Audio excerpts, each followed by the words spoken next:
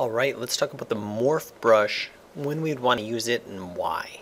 Okay, and what I'm referring to is if I click on this, if I go down here to morph, um, what is this?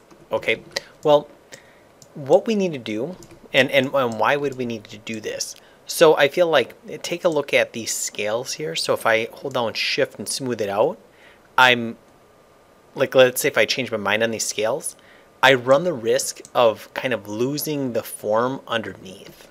Okay. And what I, so let's say if I went, even if I lowered my geometry here, and now if I smooth it out, I'm kind of losing the integrity of the sculpt. Okay, so if I kind of like change my mind on the scales, I'm kind of like, again, losing the form. I'm losing all these wrinkles and all that kind of stuff. So if I do this, I'm going to go to a different um, file here just as an example.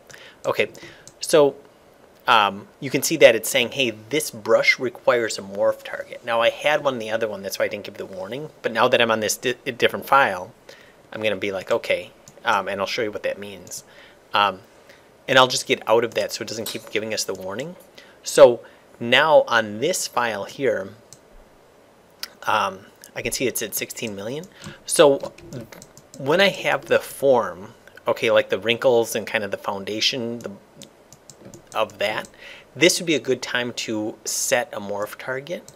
And what I mean by that is if I go to, um, let's see, down here, morph target, here it is. And if I click on that, I'm going to click on store morph target. And now it's stored. So now if I come in here, and if I go to, if I just do anything, I'm going to go to maybe just the um, standard. I'm going to go drag rectangle and I'll go like something like this. And now if I drag on here, I can see that I'm creating the scales. And now if I erase, if I hold down shift, it's going to be a normal erase. But if I go to, um, and maybe I'll do it here as well, like on all of these wrinkles down here. If I go to my morph brush, because I have a morph target established, now when I go like this, it erases down to the original. Notice that I'm not getting rid of any of the wrinkles. It's erasing down to the original. Now, take this even more extreme. Let's say if I went using my uh, creature chisel, and if I did something extreme like this, okay? And then I'm like, mm, you know what, that's kind of extreme. I don't think the T-Rex really has that extreme of armor. I could go, again, to my morph brush. Because I had a morph target, I can go like this. And I can, I can even make my, whoop, hold on. I can even make my brush really big. And just morph all that back down. Okay.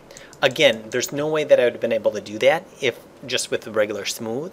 So especially something like this that I feel like when if you sculpt and you've got a point where you have okay I've got wrinkles I've got kind of the bony kind of foundation I'm going to set a morph target prior to doing any scales or any kind of detail work. So hopefully that was helpful. If you like that make sure to um, like and subscribe leave any comments below and I'll see you next time